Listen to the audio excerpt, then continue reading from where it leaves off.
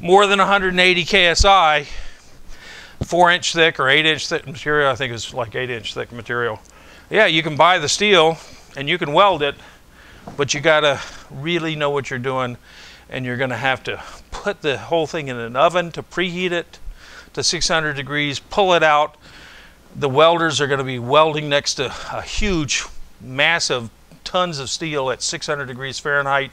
It's like welding on an oven. They used it in the keel of the uh, America's Cup yacht.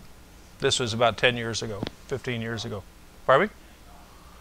Yeah, an America's Cup yacht. It's keel beam. They had used HY-130, which was what the Navy wanted to use for submarines, but they, they built one and they went out and tested it and it bent. Okay, 130 KSI, like four feet wide, eight inches thick. A lot of force on those things, a lot of, a lot of sail area. You concentrate it all in a bending moment with a big, key. not when I say keel, it's, it's actually a, the piece that sticks down. It's the, it's the, it's not the rudder, but it's the, the centerpiece. And it, you want a bunch of weight in the bottom, okay, down low. Uh, in fact, they used to put lead in the bottoms of the ships. Even though you're trying to make them lightweight, they put lead in so the thing wouldn't tip over. Okay, but you only put it in the bottom. You'd like to have a gradient of density high density in the bottom and low density at the top. Okay. Anyway, so we do know how to weld these steels. We can do it if you're will willing to pay the price. I often say we can weld almost anything if you're willing to pay the price. Okay. But the price for these really high strength steels gets prohibitive very quickly. Okay, I think we got a little bit of time to talk about fatigue design pass that out, thanks. So in fatigue design of weldments, the problem that has burned people many times because Santayana, anybody know who George Santayana was? He was a philosopher at Harvard. Anyway, Santayana said, those who cannot remember the past are condemned to repeat it. Okay? So we have learned and that in the design of fatigue of steel structures, the stress for a million cycle life in fatigue, this is in newtons per square meter, uh, millimeter, the stress in the base material or the base material with a hole increases as the ultimate strength of the steel. If you put a weld in there, you get no advantage for high strength steel in fatigue if it's welded. The reason is the weld produces a notch. It's a stress concentration. And it turns out, in terms of fatigue, that notch is going to give you the same fatigue strength whether you're in a low strength steel or whether you're in a high strength steel. Now, General Motors and Ford sort of ran into this in the mid 80s when they were trying to lightweight automobiles. And so they said, oh, we'll save weight on the cars, we'll use high strength steel. And they did, and they spot welded the high strength steel, and they assumed that they would get the same proportional strength increase in the weld as they got as the base metal strength. But you don't. You get, you get the same proportional strength in the solid piece of base metal, but if you have a stress concentration like just a simple hole, you don't get a 45 degree slope, you get something less. That's just the base metal. It's just a stress concentration. You put in a weld where you have an even sharper stress concentration, it turns out there's no advantage. So they designed these things with the same fatigue criteria, but thinner, uh, as they'd always used, assuming that the weld strength would increase proportional to the ultimate strength of the steel. And the higher strength steel, they said, oh, they just assumed they would get higher strength, fatigue strength in the welds. Well, they didn't. And people buying minivans in the mid 80s were unhappy when all, of, you know, after a couple of years, they started hearing extra rattles because the spot welds were fatiguing, okay? Well, it happens in bridges, it happens in buildings. And so you have to be careful using high strength steels in a fatigue loaded situation that you pay extra attention to the stress concentrations or you put the, the welds in locations where the stress is low. Because in general, we just willy-nilly put the welds in the highest stress locations because we expect the welds to be wonderful. And they are wonderful. I've made a whole career out of it. Okay, anyway. Um, but what we do, if you go to the um, AISC manual, I didn't bring it. This is the American Institute of Steel Construction. These are the civil engineers. They basically, yes. Right, and when I get to aluminum welds, I'm going to show you how to avoid putting the welds at the corners. There's lots of ways to do it, uh, and we know how to do it. You just have to, it's a design detail, it's not a metallurgical thing. The metallurgy kills you, and you have to solve it with design, okay? So there are solutions, it's just, but those solutions add weight, unfortunately. I mean, the best weld is one that you can just make a simple butt weld, and it's like the you know continuous base material. Doesn't work in fatigue situations. Okay, and this applies to, to aluminum too. You actually have some of these things. And this is basically, I mean, this is a much busier thing than you really want to worry about right now. But if I go to the AISC manual, they will they have a section on fatigue design.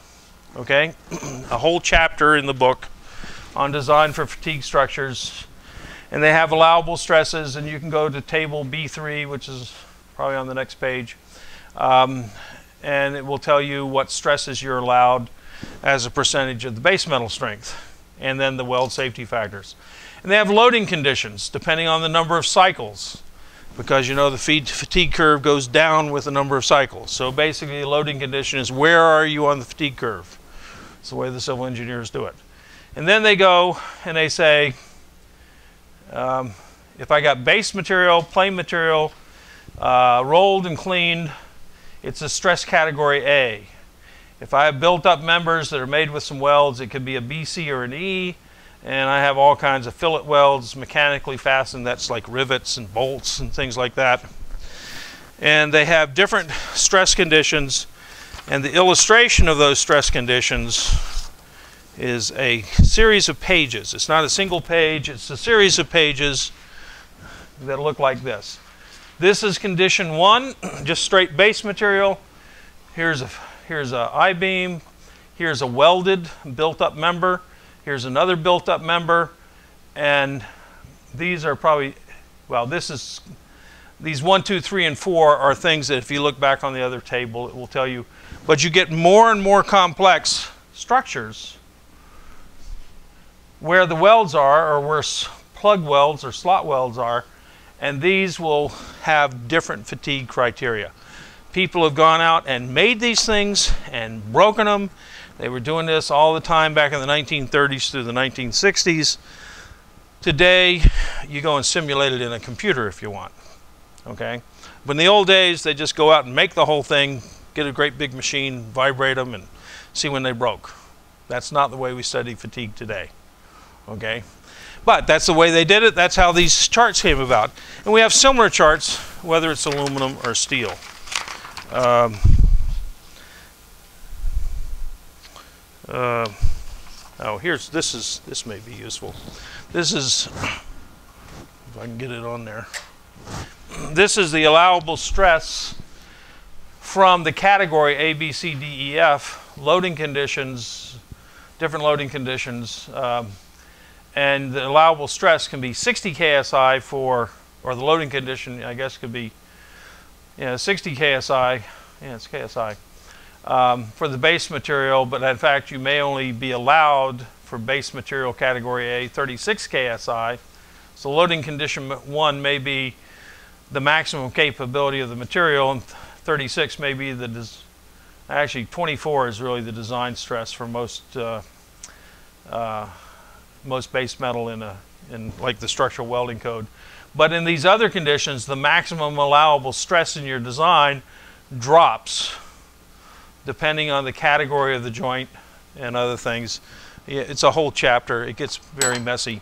But essentially, we basically reduce, or if you want to say, we're increasing the safety factor on these more complex joints by requiring a lower stress per, permissible stress level. That's how we handle fatigue.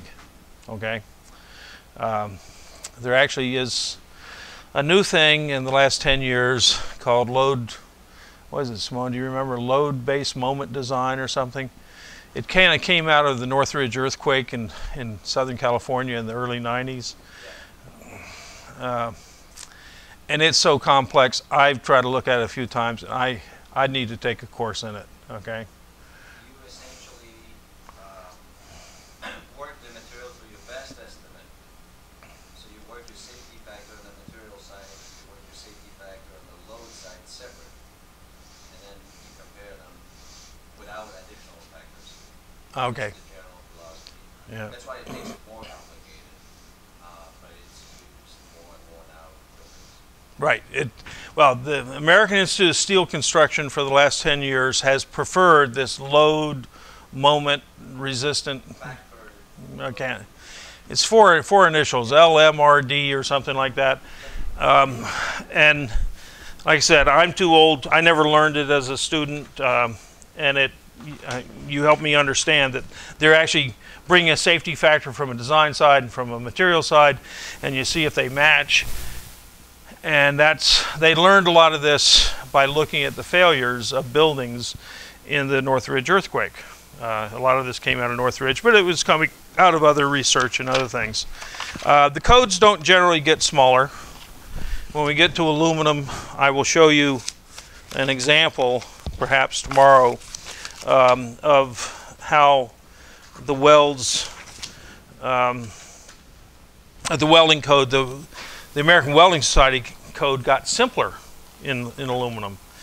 You worry about things, des, joint design details, like the stress concentrations. They call them hard spots in tanks. Um, if you're talking about a ship construction where you have beams going different ways, you may have little, they call them mouse holes. You can see why they call them a mouse hole. You cut out so you don't have three welds coming together, giving you a lot of triaxial constraint at an intersection of three welds. Okay, so there's lots of little details and games that we we have learned to do uh, because we have learned that some little details are terrible. Uh, there is a story of the King Street Bridge in Melbourne, Australia, back in the 60s, and they had they just basically had a plate on the, on top of another plate. So this plate was on another plate, and they made the weld all the way around. This might be four inches. This might be 12 inches over here. They just made a fillet weld all the way around. Fatigue crack came along. The bridge fell down. A bunch of cars went in the river. Um, I don't think anybody got killed. I don't remember. But in any case, it's a fairly famous failure. Now you're not allowed to put the closure weld on there. You have to leave it open. It doesn't really add any strength. In fact, it tremendously reduces the fatigue strength. And if you look at all those geometries I showed you, you'll find that one's not allowed. Or it's category F or whatever. the stress you can put on that weld is near zip. Okay? So we learn, one of the things in, in codes is we learn from our failures. So, see you tomorrow. the term is uh, LRFD, LRFD? load factor resistant. Yeah. Because you compare the load Yep. aspect and resistance is the material aspect. If Yeah.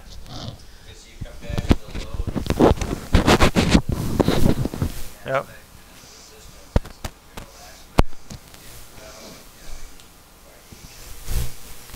Yep.